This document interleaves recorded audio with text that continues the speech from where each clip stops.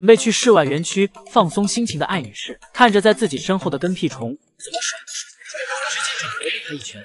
辉宝还不服气，试图跳到妈妈身上反击妈妈，不料又被妈妈一拳干倒。紧接着又来了一记嘴回拳，被打后的辉宝吓得不敢再靠近妈妈，而这一切都被待在小树上的瑞宝看见了，好像在说：“妈妈打了妹妹，就不能再打我了。”被打后的辉宝试图爬到小树上去寻求但瑞宝似乎在用眼神警告辉宝，让他不要靠近自己。辉宝读懂姐姐提示后，便灰溜溜的从小树上滑了下来。等辉宝再次走到妈妈面前时，没想到直接被妈妈给叼起来了。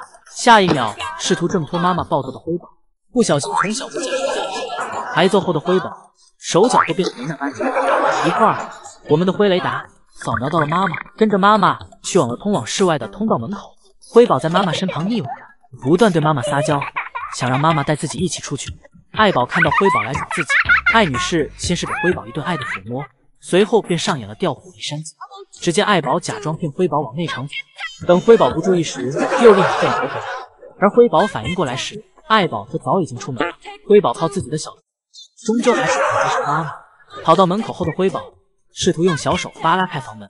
辉宝现在的样子，简直是遗传到了乐宝的精髓。因为此时的乐宝也正趴在奶爸的门口。只见乐宝在门口来回转圈，还时不时的趴在门口往外张望。好像在喊奶爸给自己开门，让自己回家。眼看通道门里始终没有动静，乐宝只好转身离开。和辉宝一样，都没有得偿所愿，妥妥保家的两个本鸡蛋。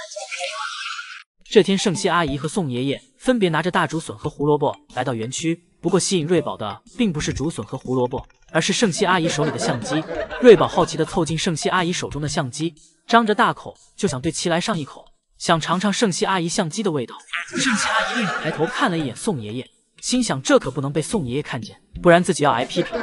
瑞宝尝了一口相机的味道后，便对其失去了好奇，因为他根本没有竹笋好吃。转身走到圣熙阿姨身旁，吃起了圣熙阿姨手里的竹笋。瑞宝这聪明且可爱的模样，让圣熙阿姨在拿着相机记录瑞宝的同时，还忍不住的将瑞宝搂进怀里。这温馨治愈的画面，让依依看了忍不住的发出耶啵耶啵的声音。而瑞宝这可爱的模样，更是差点让圣熙阿姨忘了自己的工作。与此同时，宋爷爷也忘记了自己是来干嘛的了。自从来到园区后，就一直举着手机对着辉宝拍个不停。不过辉宝这边些许有些不给宋爷爷面子，一直是屁股对着爷爷。而宋爷爷的表情此时有些惆怅，不知是不是在思考一会儿如何从树上给辉宝摘下来。直到宋爷爷胳膊举酸了，才想起自己是来干嘛的。宋爷爷走回房间，给姐妹俩去拿盆盆奶。宋爷爷拿来盆盆奶后，先是记录了一下姐妹俩今天盆盆奶的区别。因为辉宝体重领先瑞宝太多，所以宋爷爷今天给辉宝的盆盆奶减了量。记录好盆盆奶的宋爷爷，先是走到瑞宝这边，只见宋爷爷细心的把竹子包好，并放到了瑞宝身边，随后便让圣熙阿姨来带瑞宝去喝盆盆奶，自己则接下了抱辉宝下树的重任。果然不出宋爷爷所料，待在小树上的辉宝怎么能轻易下来呢？辉宝见宋爷爷过来。便做出了站定姿势，不管宋爷爷怎么做，辉宝依旧是待在小树上不下来。傲娇的辉宝与爷爷对视着，好像在说：“爷爷，昨天你爬我的树，我在下面守半天也不见你下来，今天我也不下去，看你怎么办。”见辉宝不肯下树，这结果宋爷爷也是预料到的。无奈的宋爷爷只好先去看瑞宝喝盆盆奶的情况。宋爷爷看到圣熙阿姨已经喂完瑞宝，便忍不住跟姨母吐槽起来，让辉宝下树实在是太难了。于是宋爷爷便开始在瑞宝这里找寻情绪价值。此时的瑞宝看着辉宝的盆盆奶，一心想要再吃两口，根本不想回家。而圣熙阿姨这里不管怎么抱都抱不起来，瑞宝此刻的身子软的就像水一样。而宋爷爷就在旁边哈哈大笑。不过等圣熙阿姨抱着瑞宝离开后，宋爷爷看了一眼此刻还在树上的辉宝。瞬间就笑不出来。便爷爷来到福宝的房间看福宝，此时福宝正在房间吃竹子。看到爷爷来了，福宝转了个身，想离爷爷近一些。这是福宝小时候爷爷陪福宝的时光。白天爷爷有时间就会到室外园区来看福宝。虽然这时福宝也已经成年了，但面对爷爷的近距离接触，福宝依旧很温顺，没有攻击性。福宝一边躺着吃竹子，一边听着爷爷的八卦，手里的竹子都变美味了。福宝表示爷爷的八卦很下饭。福宝吃舒服后侧躺了下来，爷爷夸赞福宝越来越可爱了。最后爷爷和福宝说了再见，表示一会儿再过来。中午爷爷再过来时，给福宝带了胡萝卜。爷爷站在树下，将胡萝卜递给福宝。爷爷表示福宝够不着胡萝卜，但鼻涕都快流下来了。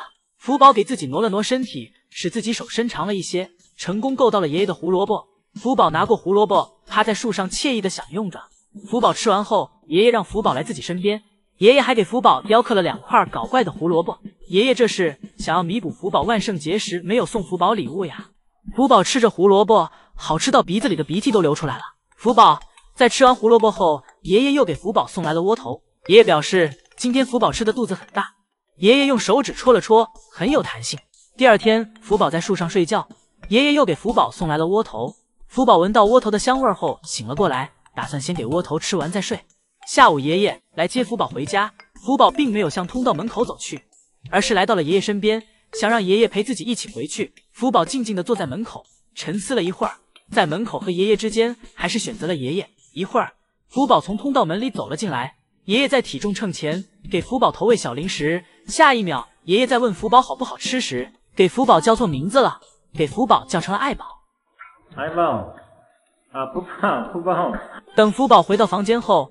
躺在爷爷面前，惬意的享受着竹子，幸福感满满。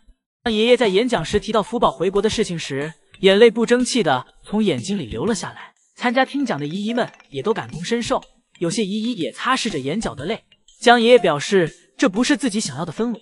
이런분위기제가원치않았어요이런분위기안되려고연습을많이했는데연습할때는안그랬는데江爷爷开玩笑的说道：“可能是自己年纪大了。” ”而今天演讲专题讲述的是福宝，江爷爷一出场，引得姨姨们欢呼，表示爷爷好帅。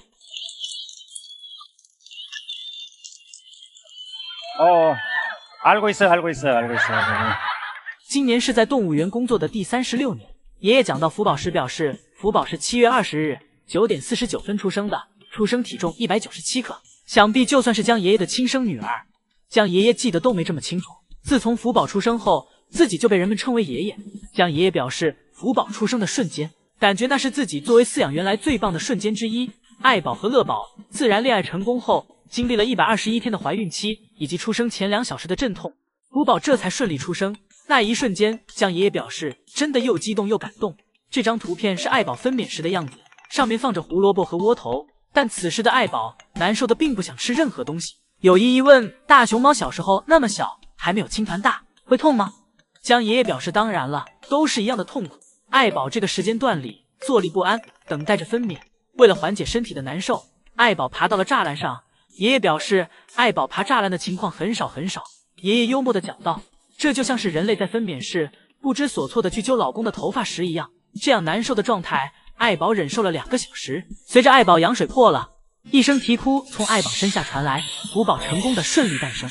爷爷还提到，爱宝和乐宝见面时。”因为爱宝和乐宝之前都是独自生活，所以见面后很难一次就对彼此产生爱意。当时江爷爷的计划是每两个小时为间隔让他们见面一次，就这样进行了五次，但一直没有成功。因为大熊猫怀孕机会只有三天，这时便已经过去了半天。而这时乐宝和爱宝也都累了，就这样，爷爷们决定再做最后一次尝试。谁知这一次竟然奇迹般的成功了。当时爷爷表示，这个瞬间不亚于福宝当时出生时的激动。讲到最后，江爷爷便说到了明年福宝要回国的事情。爷爷表示，很多人问福宝能不回去吗？爷爷说自己会回答，为了福宝的幸福和健康，是一定要回去的。但是对于内心来说，怎么会是一样的？爷爷表示自己也觉得很可惜。说着，爷爷眼中的泪便止不住了。爷爷表示，不管福宝以后长到多大，他始终是自己的熊猫宝宝，自己永远都会为福宝应援。宋爷爷正在为两只熊猫宝宝制作早餐，虽然两只熊猫宝宝。现在都在爱宝身边了，但是爱宝的奶水是有限的，所以宋爷爷只能额外准备奶粉。因为宋爷爷需要抱着熊猫宝宝喂食，所以宋爷爷先给自己消了消毒。此时的辉宝和瑞宝正在玩耍打闹，宋爷爷拿着奶瓶坐在其旁边。爷爷先是给辉宝抱了过来，给辉宝擦擦嘴，然后便开始为辉宝进食。看辉宝这大口大口进食的样子，刚才肯定是在妈妈身边没吃饱。而瑞宝则表示：“妹妹吃快点，自己也饿了。”瑞宝痴痴望着辉宝，辉宝表示：“姐姐别着急，自己已经在努力了。”辉宝吃完，爷爷给辉宝擦了擦嘴，然后给其拍了拍背，帮助辉宝打嗝。瑞宝表示：“不用拍妹妹了，妹妹现在已经会自己打嗝了。”爷爷快看看我，我还饿着呢。爷爷忙碌完辉宝，终于轮到瑞宝了，爷爷将压在瑞宝身上的辉宝抬开，然后开始给瑞宝喂食。同样的，爷爷先是给瑞宝擦了擦嘴，然后开始给瑞宝喂食。瑞宝吃饭显然没有辉宝吃饭安静，瑞宝的小手动来动去，吃快了和吃慢了，瑞宝都有明显的反应。瑞宝每次都需要分两次进食，而辉宝这时在一旁不安分了，像是要抢姐姐的奶喝。在辉宝的不断骚扰下，爷爷最后也算是顺利完成喂食。爷爷给瑞宝拍了拍背，姐妹俩的干饭时间便结束了。然后爷爷开始为熊猫宝宝打扫房间，而姐妹俩在房间四处走动着。辉宝的步伐比瑞宝稳健很多，瑞宝走路则还是会经常摔跟头。而且辉宝虽然作为妹妹，但是受欺负的总是姐姐瑞宝。这不，辉宝给姐姐压在身下，又给姐姐教训了一顿。而爱宝现在在吃饭时间选择自动屏蔽熊猫宝宝的动静，不然爱宝吃饭都吃不消停。房间打扫完，爷爷开始为熊猫宝宝测量体重，先是给辉宝进行测量，辉宝在盒子里很是不安分，而瑞宝则是一脸蒙圈的状态下完成的。